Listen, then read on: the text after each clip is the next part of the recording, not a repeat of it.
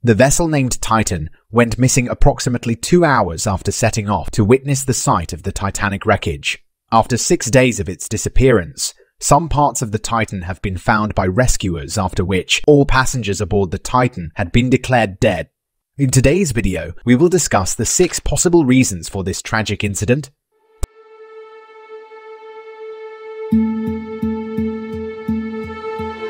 Power failure.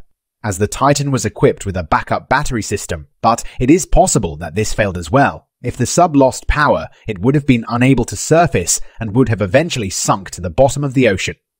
Collision with debris. The area where the Titan was operating is known to be littered with debris from the Titanic shipwreck, as well as other shipwrecks and fishing nets. It is possible that the Titan collided with some of this debris, causing damage that led to its sinking. Fire.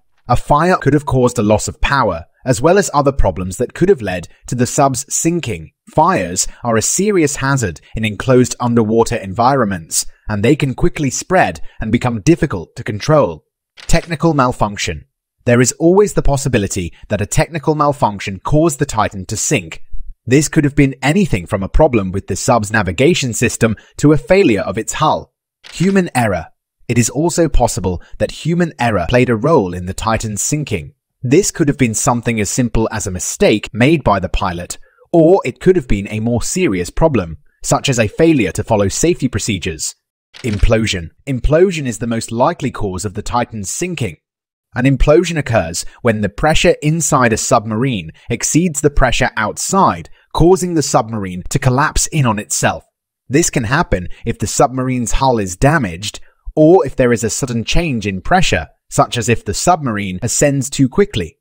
The US Coast Guard has said that the debris found from the Titan is consistent with a catastrophic implosion.